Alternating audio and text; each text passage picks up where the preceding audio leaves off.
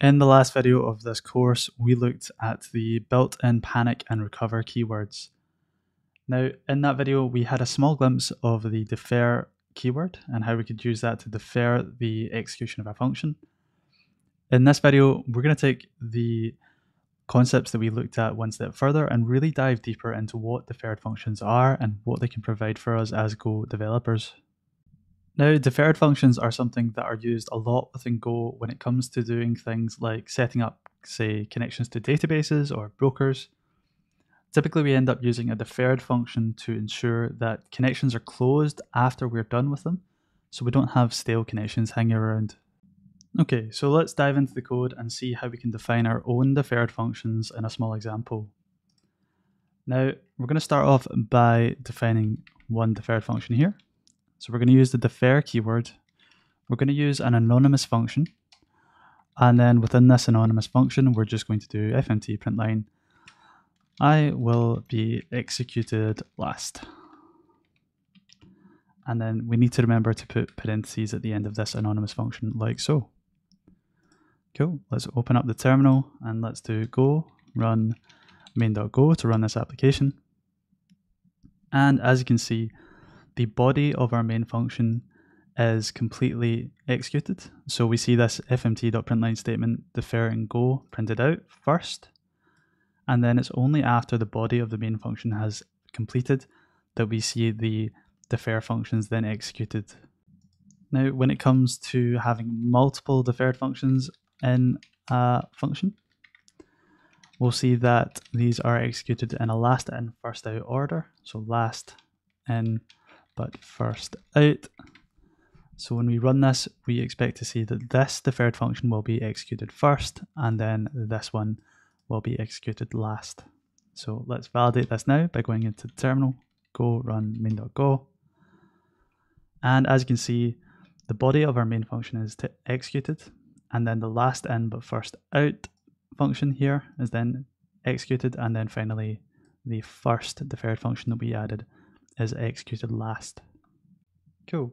So why is this necessary?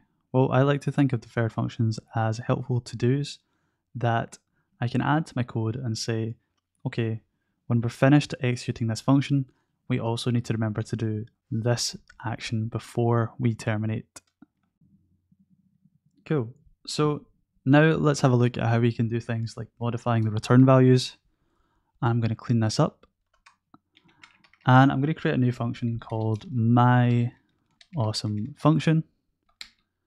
And this is going to return a named value called error or error. So the name of the value is going to be error and it's going to be of type error. And then what I can effectively say is defer func. And I can say error equals errors.new I am an error.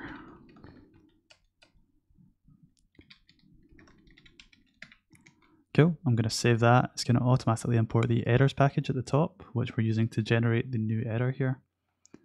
And then we can try and call this. So we can say error is equal to my awesome function. And then we can say if error does not equal null, then we can fmt print println the error dot error like so. Cool. So my expectations are that it's going to attempt to return nil. The defer function is going to come in. is then going to update this named value return. And it's going to set this equal to a new error, which has I am an error, which is very original. Cool. Let's clear this and do go run main.go.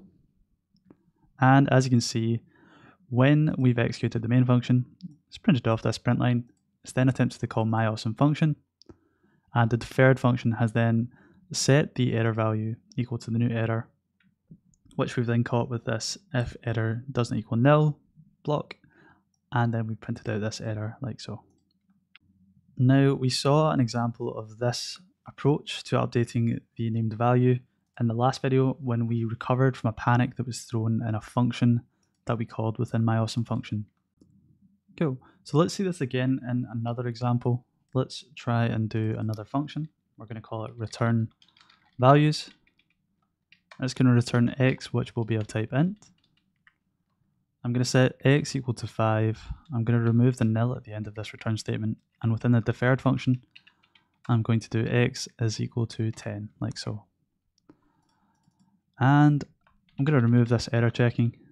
And I'm just going to do fmt.println and my awesome function, which we'll need to change to return values, like so.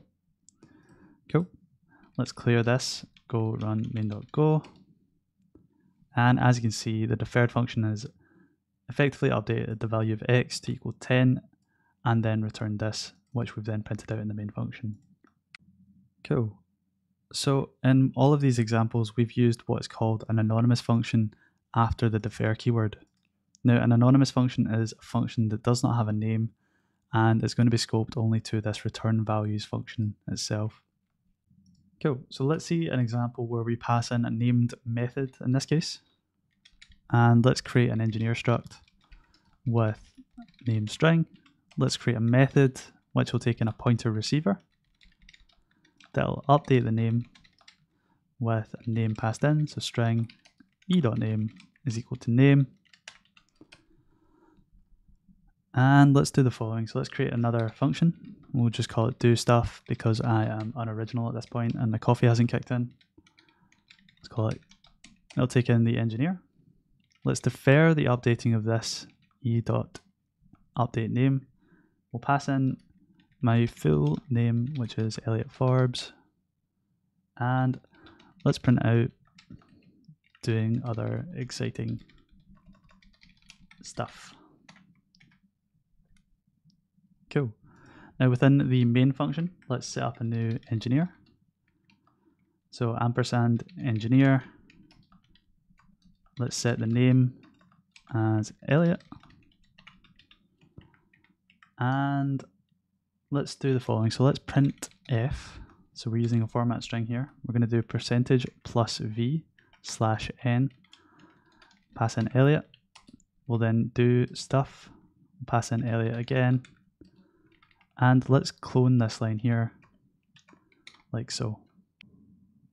So just to highlight, this percentage plus v is going to print out the struct we've got here, the engineer struct. It's going to print out the field names and the values. So we should see name and Elliot.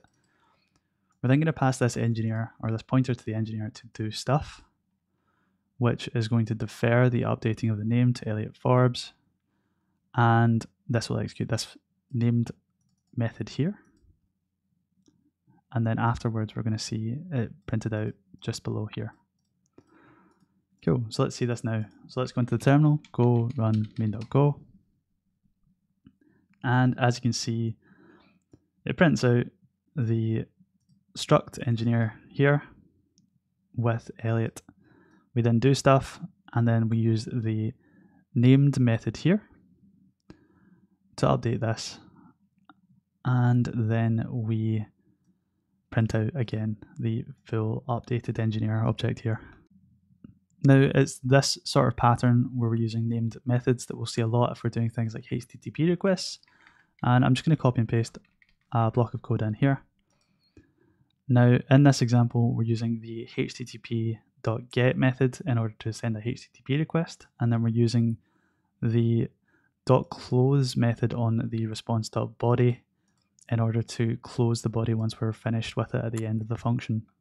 Now, this block of code here actually demonstrates quite well one of the main advantages of using the defer keyword, in that when we're setting up this HTTP request, we're grouping all of the code together to handle the HTTP request and then the closing of the body.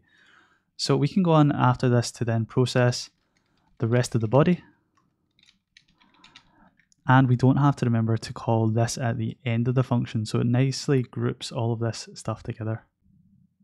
Cool. However, whilst it's quite nice, there is one gotcha that you have to bear in mind, and let's see that now. So let's set a new name. So var name, we'll do the shorthand notation, Elliot Forbes. Let's pass in the name here. And let's update the name to equal Elliot M Forbes for my middle initial. Now, what you'd expect, or what you might expect here, is that when we've updated this name to Elliot M Forbes, when the deferred function is called, we're going to see the new name getting passed into this method here. And when we print it out again, we'll see the name is equal to Elliot M. Forbes. However, that isn't the case.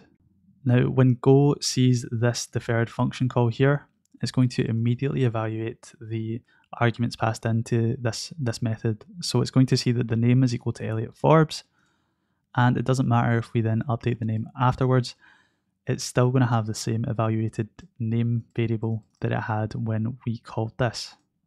So let's see this in action. So let's do go run main.go. And as you can see, it hasn't updated it to Elliot M Forbes with my middle initial. It's in fact kept the originally evaluated value of this name when it's called this deferred function. Awesome. So that's all we're going to cover in this video. Now, just to quickly recap, we've looked at the defer keyword and how we can use it to execute things like anonymous functions or named functions and named methods, like we have here, to the end of the execution of a function. We've also looked at some of the best practices around grouping things, like, say, sending HTTP requests and remembering to defer the response body close. And we've also looked at some of the gotchas, so the immediately evaluated argument names and how this can impact you if you're expecting alternative behavior. Cool. So this video is part of a course that's on my website and I'll leave a link to that in the description of this video below. If you're watching on YouTube, then please leave a like and subscribe to my channel for more programming content. And if you're watching the video on the course, then I hope you're enjoying the course and I'll see you in the next video.